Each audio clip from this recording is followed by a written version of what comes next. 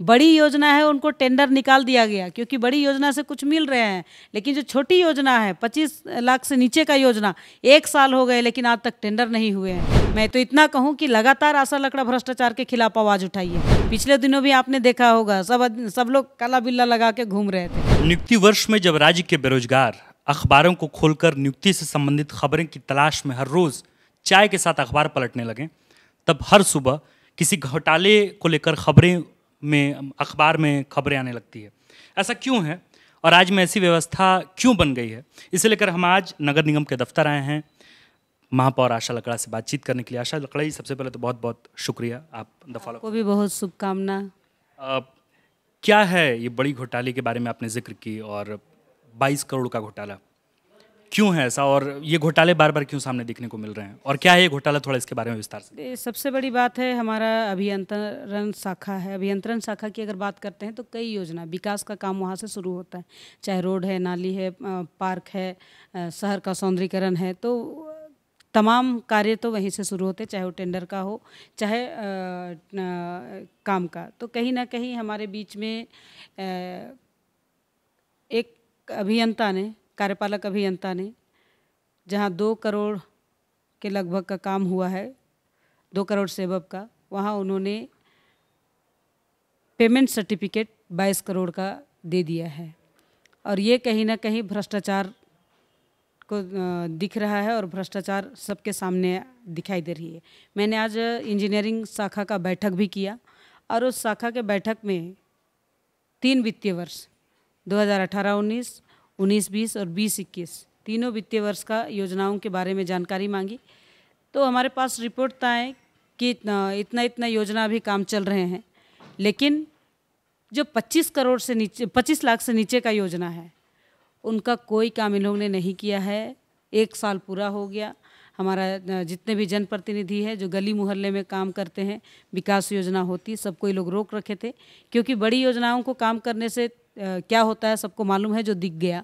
तो ऐसे भ्रष्टाचार के लिए एक मेयर होने के नाते मैं लगातार इस पर विषय उठाते गई हूँ और लगातार उठा भी रही हूँ। और इस मामले पर जो 22 करोड़ का पेमेंट सर्टिफिकेट दिया गया है, उस विषय पर जाँच के लिए माननीय मुख्यमंत्री को, माननीय विभागीय सचिव को और अपने नगर आयुक्त को पत्राचार कर रही हूँ। और जो तीन लोग, मुख्य अभियंता और दो अधीक्षण अभियंता कार्यपालक अभियंता नहीं आए। ऐसे लोगों को कारण बताओ। नोटिस देने का हमने उपनगर आयुक्त को निर्देश दिया है। और जाँच जब हो जाएगी तो दूध का दूध और पानी का पानी हो जाएगा। कहते हैं कि भ्रष्टाचार करने से कोई छुपा नहीं रहता है। मैं लगातार उसके लिए आवाज़ उठाते रही हूँ। आपने देखा होगा, जब मैं भ्रष्टाचार के विषय पर आवाज़ उठाई तो लोग यहाँ आंदोलन करना शुरू कर दिए थे। कहते हैं, सत्य परेशान हो सकता है, पराजित नहीं होगा। मैम क्या हमारे दर्शकों को आप बहुत खुलकर बताएँगे कि जो दो करोड़ की राशि थी, रकम थी, उसको 22 करोड़ का बना दिया गया। सरकारी कर्मचारी भी, विभाग के सरकारी कर्मचारी भी इसमें संलिप्त पाए गए। क्या है मतलब तमाम 22 करोड़ में वो कौन सा प्रोजेक्ट है? उस प्रोजेक्ट के बारे में अगर आप बताएँ तो। देखिए मैं आपको बता दूँ कि ये रोड बनने का था, बाईस करोड़ का यो, दो करोड़ का योजना। उसमें अगर देखा जाए तो तीन योजना है। एक है दिव्यांग मोटर से प्रगति बिहार होते हुए पीसीसी द्वारा चौड़ीकरण करते हुए बिटुमुनस द्वारा सुधार कार्य।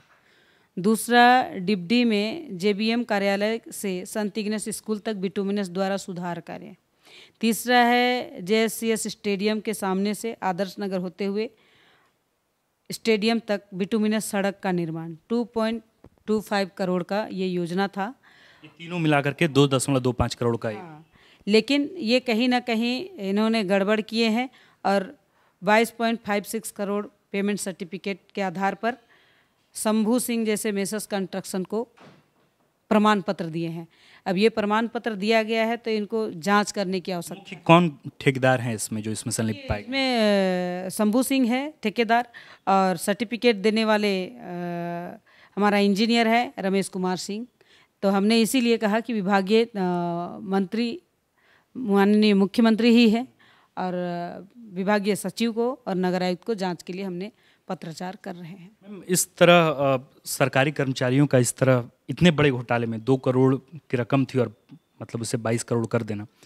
सरकारी कर्मचारी इसमें शामिल हुए हैं। क्या कार्रवाई हो सकती है और आपने आप क्या कार्रवाई मुख्यमंत्री से कहेंगी करने के लिए? जाँच करें। जाँच के समय जो पाया जाएगा उस पर जो भी घोटाला किए हैं ऐसे लोग को कड़ी से कड़ी कार्रवाई करे। आपको लगता है कि जाँच हो पाएगा? क्योंकि हर बार तो जाँच होता है घोटाले उजागर होते हैं और उसके बाद फिर पता चलता है कि घोटाले अब ठंडे बस्ते में चले गए। इतनी बड़ी रकम है। लोग सरकार बार बार कह रही है कि पैसे नहीं है पैसे नहीं हम नियुक्ति शायद इसलिए नहीं कर पा रहे हैं।